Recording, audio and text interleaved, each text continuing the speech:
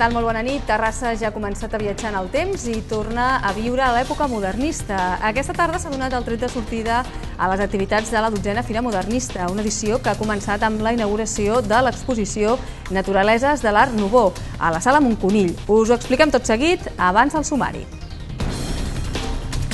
La consulta i l'austeritat centren l'inici de la campanya per a les eleccions europees del 25 de maig. Els partits polítics en presència a Terrassa n'han donat el tret de sortida aquesta mitjanit. El Congrés ja ha aprovat l'avantprojecte de llei de telecomunicacions que obre la porta a l'expropiació de terrats particulars per instal·lar-hi antenes de telefonia. L'Ajuntament no està massa d'acord amb la proposta.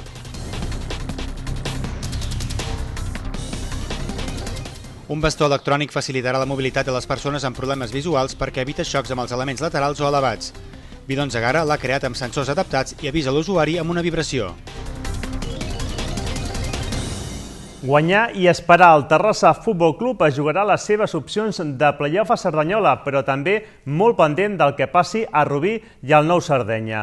Més de 150 socis i aficionats acompanyaran el conjunt de Miqui Carrillo en l'últim partit de Lliga. El tècnic, que no podrà comptar amb Batanero ni Javi González, confia en la victòria del seu equip. Però el Cerdanyola, entrenat pel seu germà Toni, ja ha avançat que sortirà pel triomf, deixant de banda els sentimentalismes, tot i no jugar-s'hi res. Als esports ampliarem tots els detalls d'aquest partit, però també veurem com es prepara la selecció espanyola masculina d'hoquei herba de cara al Mundial de la Halla. 11 encarencs formen part de l'equip espanyol que es concentra a Terrassa.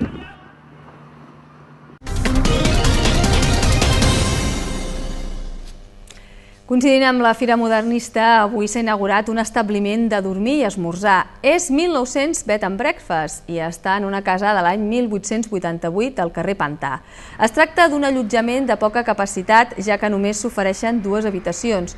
A diferència dels grans hotels, 1900 Bed and Breakfast assegura un clima de tranquil·litat als clients. També els garanteix una proximitat, una hospitalitat i un grau d'acolliment gens habitual en els hotels.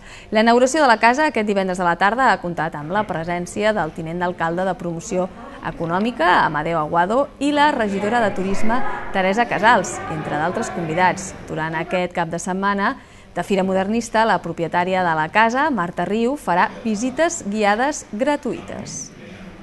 Sí. Si caben 3 o 4... La ciència també ha estat protagonista aquesta tarda en els primers actes d'aquesta dotzena Fira Modernista. La Masia Freixa, al Parc de Sant Jordi, ha acollit la conferència teatralitzada L'actualitat científica al modernisme. Aquesta xerrada divulgativa dins l'àmbit de la física ha estat organitzada pel Servei d'Universitat i Societat del Coneixement de l'Ajuntament. Mariona Tomàs, presentadora del programa de la ràdio municipal, el submarí, ha simulat una entrevista radiofònica teatralitzada amb un professor de física sobre les darreres fites científiques del 1910. El paper de professor ha estat interpretat per Andrés Aragoneses, professor de la UPC i president de Planeta da Vinci. L'acte ha comptat amb la presència del regidor de la Societat del Coneixement i Universitat, Juan Antonio Gallardo. Aquesta dotzena edició de la Fira Modernista aplegarà milers de ciutadans i de visitants vinguts de fora. La fira durarà fins diumenge i oferirà prop de 200 activitats. La repassem tot seguit. Aquest matí s'ajustaven els últims preparatius per a una nova edició de la Fira Modernista, la dotzena. Les casetes, les parades, els escenaris i els decorats han d'estar a punt perquè demà la ciutat retrocedeixi 100 anys i torni a principis del segle XX. Els espais per viure la fira seran els habituals al centre de Terrassa, Raval de Montserrat, plaça Vella, Parc de Sant Jordi, Passeig Comte d'Ègara, la Rambla, la plaça Nova i aquest any s'afegeix la plaça Didó on hi haurà la mostra gastronòmica.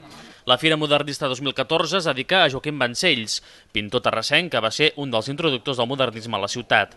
És per això que es podran veure els seus quadres a diferents espais com el Centre Cultural i la Casa Joaquim Freix, al Raval. Una de les activitats destacades serà l'espectacle musical Cants del Poble, dissabte al vespre al Teatre Principal, on diferents corals interpretaran cançons i música de l'època. La gran implicació ciutadana en la fira es demostra amb les 130 entitats que aquest any hi participen. Moltes d'elles prendran part en alguns dels concursos convocats, com el de bars i restaurants, ambientació de carrers i Instagram. En total seran 190 activitats en dos dies que acabaran per primera vegada amb un acte de cluenda. Diumenge, a dos quarts de nou del vespre, al pati del NACTEC, recentment obert al públic, s'hi representarà l'espectacle Trama de l'Esbart Agarenc, que abocarà la història del tèxtil a Terrassa. En acabat, s'anunciarà el tema de la Fira Modernista 2015, fent fumejar de nou la xamaneia del vapor Aimeric Amat i Jové. La Fira Modernista comportarà els habituals talls de trànsit al voltant del centre. Les afectacions es poden consultar al web terrassa.cat. Aquesta casa, Canal Terrassa Vallès, emetrà dos reportatges especials de la Fira Modernista que recolliran les millors imatges de la dotzena edició d'aquesta proposta. Conduïts per Mariona Tomàs i Pep Tormos, emetran dissabte i diumenge a les 11 de la nit.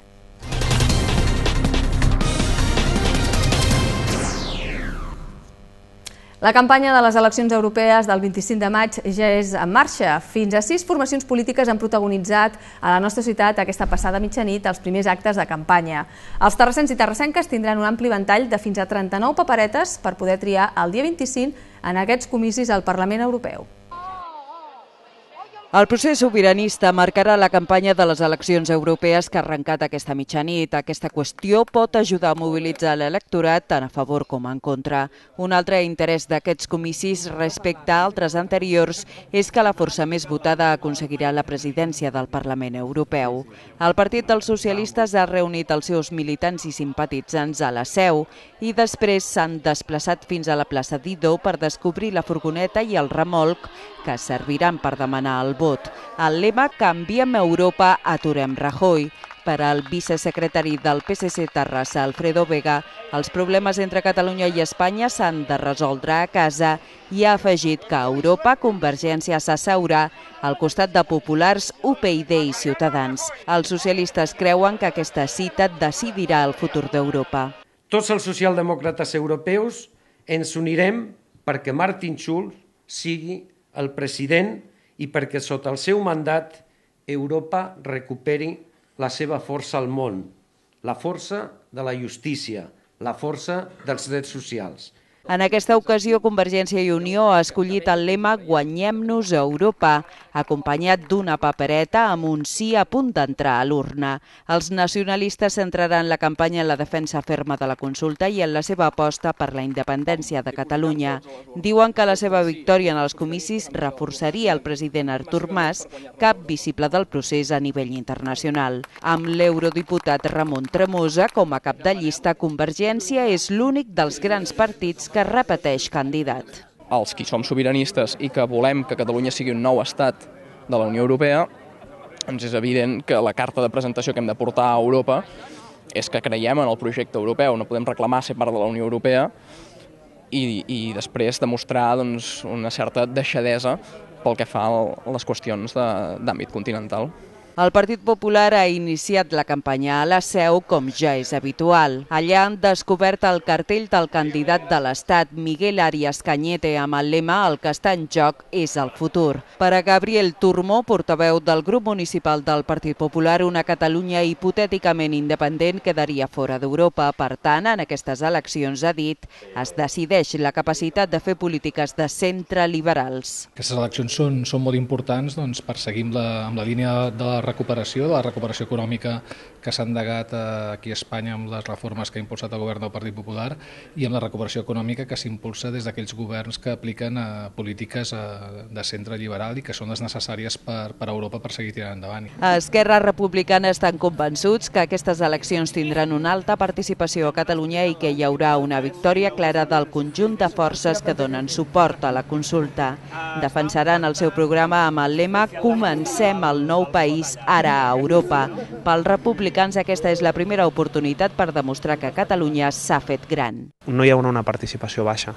Des d'Esquerra Republicana no només desitgem, sinó que a més a més estem convençuts eh, que la gran majoria d'aquest país que vol decidir el proper 9 de novembre eh, començarà a decidir el proper 25 de maig. A Esquerra hi ha l'única candidata terrassenca en aquests comicis, Xènia Albà, i ho fa com a primera suplent.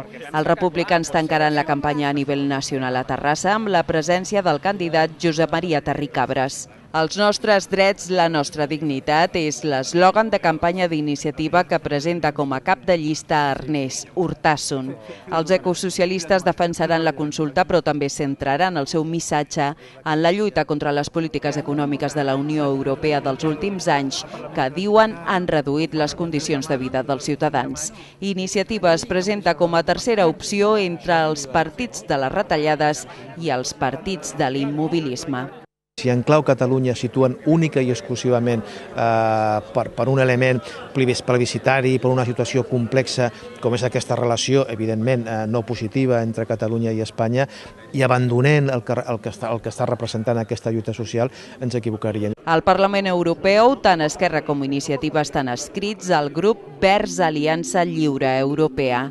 Ciutadans és el sisè partit que ha fet acte públic d'inici de campanya a la ciutat. Els terrassencs i terrassenques, però, tindran un ventall de fins a 39 paperetes per escollir el dia 25. D'aquests comicis sortiran els 54 diputats espanyols al Parlament Europeu durant els propers 5 anys.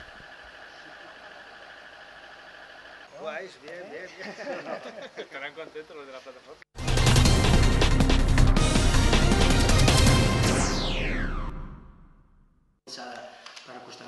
El 25 de maig és la primera oportunitat per presentar alternatives a la Troika. Per a Iniciativa per Catalunya Verds Esquerra Unida i Alternativa, en aquestes eleccions ens juguem les polítiques que es fan a Europa i el dret a decidir. I per això nosaltres diem que el vot a Iniciativa Verds Esquerra Unida val per dos per confrontar les polítiques econòmiques i plantejar alternatives a les polítiques econòmiques fins ara dominants que ens han portat a aquesta situació absolutament de, de catàstrofe social, de desastre social en la que estem vivint, en què els rics cada vegada són més rics i la gent treballadora cada vegada està més empobrida i també val per guanyar eh, el dret a, per guanyar el dret a decidir. La coalició fa una crida al vot i a la mobilització dels treballadors a qui les retallades els han arrabassat drets i diners per pagar el rescat bancari de més de 100.000 milions d'euros.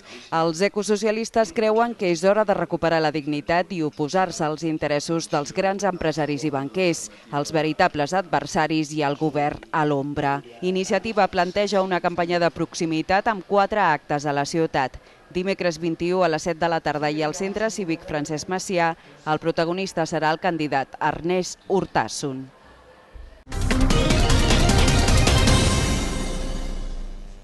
L'avantprojecte de llei de telecomunicacions aprovat a Madrid obre la porta a l'expropiació de terrats particulars per instal·lar-hi antenes de telefonia. L'Ajuntament, però, no hi està gaire d'acord. La setmana passada el Congrés de Diputats va aprovar l'avantprojecte de nova llei de telecomunicacions. Aquest obre la porta a l'expropiació total o parcial de terrats particulars per instal·lar-hi antenes de telefonia. L'Ajuntament no està massa d'acord amb la proposta i per posicionar-s'hi es remet a la Comissió del Pla d'Infraestructures de Telecomunicacions de Terrassa a la que participa. Aquesta comissió reconeix la telefonia mòbil com una tecnologia necessària pel progrés de la societat, però també demana que el desplegament que se'n faci sigui transparent, ordenat amb la implicació de l'Ajuntament i amb un seguiment participatiu de la ciutadania. Amb tot, considera que s'han de prioritzar els equipaments de serveis per davant dels edificis residencials a l'hora d'instal·lar-hi antenes de telefonia. La Comissió del Pla d'Infraestructures de Telecomunicacions està formada per l'equip de govern, representants dels grups municipals, agents socials, experts en tecnologies i organismes especialitzats com la Universitat Politècnica de Catalunya i Localred.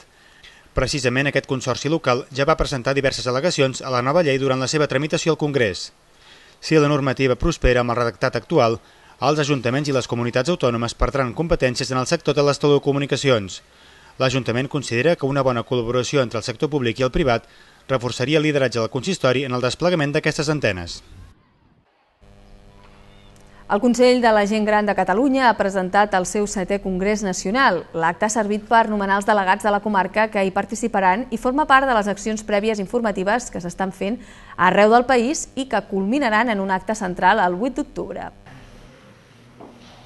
El Consell de la Gent Gran de Catalunya ha presentat aquest divendres al Consell Comarcal del Vallès Occidental el setè Congrés Nacional de la Gent Gran. L'acte ha servit per nomenar els delegats de la comarca que hi participaran i forma part de les accions prèvies informatives que s'estan fent arreu del país i que culminaran en un acte central a Montsant Benet el proper 8 d'octubre. Allà s'hi presentaran les ponències, es pactaran les conclusions i el manifest final. Es preveu la participació d'unes 600 persones. El Congrés, que se celebra cada 4 anys des del 1990, ha de servir per obrir el debat social i perfilar la línia de treball que cal seguir per donar resposta a les necessitats del col·lectiu. El col·lectiu de la gent gran és molt ampli i s'han d'adreçar polítiques molt determinades, molt diferents, molt canviants en aquest moment, precisament perquè jubila gent molt jove, gent amb molta qualitat de vida, amb esperances de vida, per tant les polítiques eh, han d'anar evolucionant i per tant aquest congrés ens ha de portar respostes. El Congrés Nacional de la Gent Gran aplega representants de les persones grans de Catalunya i d'associacions, així com persones expertes i professionals que durant diverses jornades de treball reflexionaran sobre la realitat del col·lectiu i sobre els temes que els afecten. Un cop finalitzades les jornades, l'organització donarà a conèixer els resultats del Congrés i farà seguiment dels acords adoptats. L'alcalde de Terrassa, Jordi Ballar, ha rebut aquest divendres al seu despatx de l'Ajuntament una delegació de l'associació Acord, assessorament, consell, orientació i recursos per a dones. La regidora de Ciutadania i Drets Civils, Lluïsa Melgares, també ha participat a la trobada. Acord és una associació sense ànim de lucre que es va constituir l'any 2000 per normalitzar l'homosexualitat femenina en la societat, així com per reivindicar els drets de les dones. L'Ajuntament de Terrassa té un conveni de col·laboració amb Acord per a l'atenció de dones en relació a la diversitat sexual i per a la realització de tallers contra l'homofòbia als instituts. S'ha presentat en societat un bastó electrònic que té l'objectiu d'ajudar en la mobilitat per la ciutat de les persones invidents. El bastó disposa d'un dispositiu electrònic que capta els obstacles de cintura en amunt. L'empresa Bidons Agara és la creadora del bastó. Un bastó electrònic per a invidents facilitarà la mobilitat per la ciutat de les persones amb problemes visuals. Aquest dijous, l'empresa Bidons Egara, que impulsa una càtedra d'investigació a la Universitat Miguel Hernández d'Elx, ha presentat el bastó Egara al Centre Cultural. El bastó electrònic detecta qualsevol obstacle de cintura en amunt, com branques d'arbres, retrovisors de vehicles o extintors. El tradicional bastó blanc per a invidents només detecta els obstacles de cintura en avall. Evitarà que eh, molts cops que s'han donat segurs per culpa d'andamios o de coses laterals, com pot ser bé les caixes aquestes que posen pels semàforos, una branca d'un arbre, eh? qualsevol cosa que sigui dreta, esquerra o altura, o el detecta a través de la cadena que porta aquí a la, a la muñeca, bueno, al, al canell. Un grup de sensors avisa amb una vibració a l'usuari. Es pot ajustar l'alçada, la forma de caminar o a l'amplada d'espatlles de cada persona. El bastó Egara disposa de diversos programes segons les condicions en què es fa servir, com a l'interior d'edificis o en entorns, amb aglomeracions com pot ser el transport públic. La presentació aquest dijous ha comptat amb diverses ponències sobre la filantropia empresarial vers els projectes socials o els avenços i reptes de la retinosis pigmentària, malaltia de la vista en què es centra la càtedra d'investigació de Bidons Egara, que ja fa 9 anys que funciona. La vicepresidenta del Govern de la Generalitat, Joana Ortega, presidirà l'acte d'entrega dels Premis Cambra 2014. La cerimònia celebrarà a la Masia La Tartana de Matadepera el proper 19 de juny. Abans, un jurat multidisciplinar format per personalitats vinculades al món institucional, polític, empresarial i periodístic decidirà quins seran els guanyadors d'aquesta edició.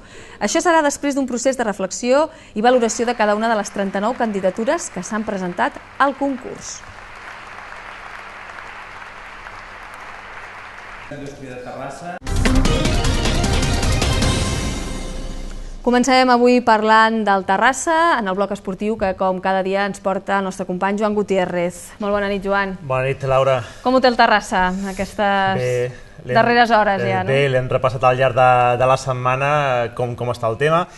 No depèn d'ell mateix, depèn d'altres resultats. A un li agrada dependre de si mateix per poder aspirar als objectius que s'havien marcat a principi de temporada ho expliquem tot seguit en aquest eh, bloc eh, futbolístic.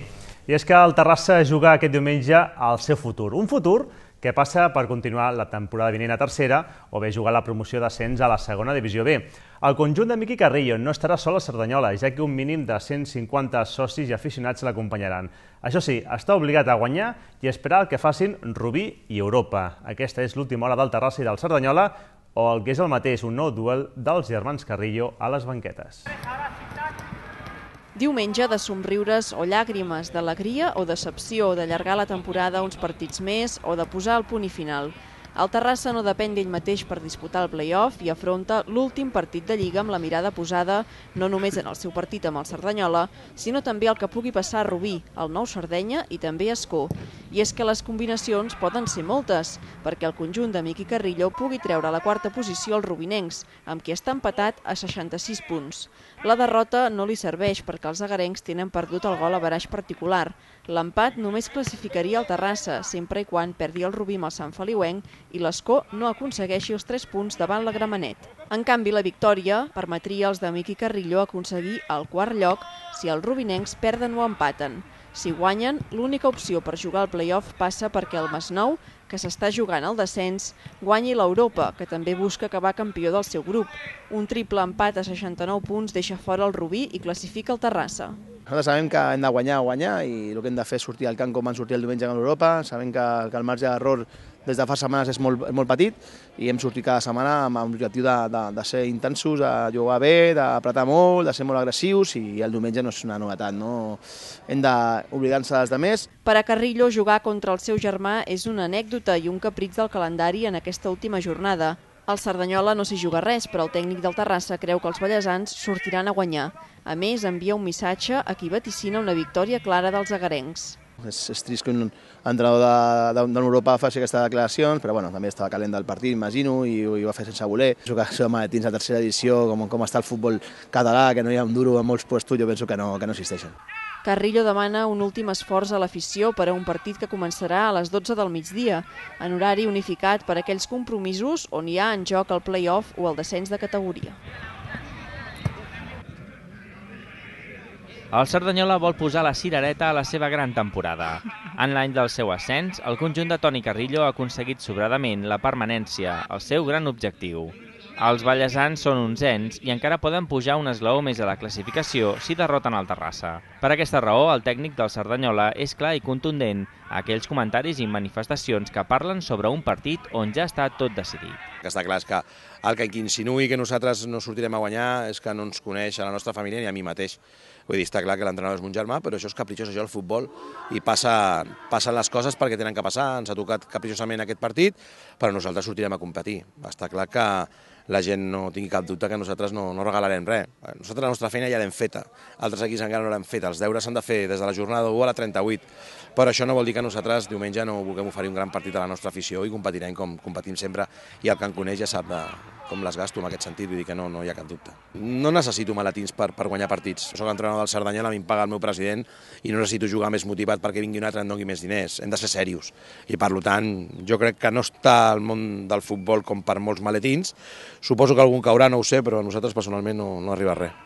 Carrillo té quatre jugadors lesionats, entre ells el porter Coca, que s'ha hagut de sotmetre a una artroscòpia aquest divendres, i dos sancionats, David López i Osuna. Passi el que passi, està clar que hi haurà un gran ambient al municipal La Bòbila, amb un final on es celebrarà la classificació per al playoff del Terrassa, on es festejarà la permanència i la gran temporada realitzada pel Cerdanyola. Més coses, la selecció espanyola masculina d'hoquí herba ja ha començat la preparació pel Mundial de l'Aia. Aquesta setmana s'ha concentrat a Terrassa, com ja és habitual, gairebé la meitat dels eh, jugadors agarencs, dels jugadors concentrats són agarencs. La selecció espanyola masculina d'hoquei herba està concentrada a Terrassa per començar a preparar el Campionat del Món, que tindrà lloc a l'Aia, Holanda, del 31 de maig al 15 de juny. Fins aquest diumenge el combinat de Salva Indurain s'entrenarà al camp federatiu. 11 dels 23 jugadors convocats són terrassencs, tot i que d'aquí a una setmana serà quan el seleccionador doni la llista de 18 jugadors que viatjaran a la cita més important de l'any. Després d'aquesta primera setmana d'entrenaments, Espanya jugarà tot un seguit de partits. Dilluns, el Pau Negre de Barcelona s'enfrontarà a Rússia. A partir de dimarts i fins divendres disputarà el Quatre Nacions de Bengales, Rússia i Irlanda. Contra aquesta última selecció també jugarà un últim partit el dissabte 17. El dijous 22 la selecció espanyola marxarà cap a Holanda, on afrontarà tres amistosos més contra Holanda, Corea del Sud i Argentina. Espanya debutarà al Mundial contra Anglaterra el dissabte 31. La resta de rivals del seu grup són Austràlia, Bèlgica, Índia i Malàisia. El Club Natació Terrassa rebrà tres guardons en la dotzena edició de la Diada de la Natació Catalana, que tindrà lloc el proper dilluns al vespre a Barcelona. Un acte que organitza la Federació Catalana de Natació, on es premien els protagonistes del 2013. Un dels guardons serà per Albert Puig, que serà premiat amb la medalla al mèrit esportiu per la seva trajectòria esportiva com a nedador. L'altre reconeixement per la delegació garenca a títol individual serà per la waterpolista Anna Roldán, a qui li lliuraran una menció especial pel subcampionat d'Europa juvenil assolit amb la selecció espanyola el passat mes de setembre. A més, en versió serà guardonat com a tercer classificat en el rànquing de millors clubs catalans del 2013. I acabem amb un apunt de waterpolo demà a les 6 de la tarda, segon partit de les semifinals del playoff pel títol, ara a l'àrea olímpica, entre el club Natació Terrassa i el Mataró. Uh, Laura, una cita en el que el Terrassa, el Natació Terrassa, ha de guanyar si vol aspirar a la final del playoff. Si no guanya demà, queda eliminat. Si guanyés demà, diumenge a la una hi haurà el tercer partit de l'eliminatòria. Molt bé, doncs ja ens explicaràs, a veure, Joan. I dilluns t'explico a veure què ha passat amb el Terrassa, que també... Exacte. Perquè ja tindrem molt, molt a veure. Molt bé, Vinga, que vagi bé. Bon cap de setmana, Joan. Adéu. Gràcies. Aquesta tarda, a les 7 de la tarda, s'ha inaugurat oficialment la Fira Modernista de Terrassa a la Sala Montconill, aprofitant l'estrena de l'exposició Naturaleses de l'Art Nouveau. Aquesta mostra està coordinada amb 13 ciutats més europees i fa una retrospectiva dels elements florals i naturals que inspiraven l'Art Nouveau que és com es deia el modernisme a Europa. En el discurs d'inauguració, l'alcalde de Terrassa, Jordi Ballar, ha destacat precisament la dimensió europea que la Fira Modernista pot aconseguir i el referent que s'ha convertit en l'àmbit català. Ballar també ha donat a la Fira un valor de promoció turística capdalt per a la ciutat. També la Fira Modernista, sobretot, volem que sigui un element important de projecció cultural i de projecció turística de la ciutat. Volem que sigui també, en definitiva, un element de promoció externa de Terrassa, que ens ajudi també a traure visitants de fora i que això també ens contribueixi a dinamitzar el comerç i a generar activitat econòmica, que en aquests temps difícils també és més eh, imprescindible que mai. Avui acabem amb una altra exposició que s'ha preparat expressament per a la Fira Modernista. És la que es pot veure a la casa d'en Joaquim Freixa, edifici obra de Lluís Monconill, al Raval de Montserrat número 42. Allà hi haurà exposats quadres de Joaquim Vancells, Tomàs Viver, Pere Viver i Rafael Benet. Cal destacar que la majoria d'obres no han estat mai exposades, ja que procedeixen de particulars i familiars dels artistes. Amb ella ens acomiadem més notícies al terrassadigital.cat. Gràcies per la seva atenció i que passin una bona nit. Fins dilluns.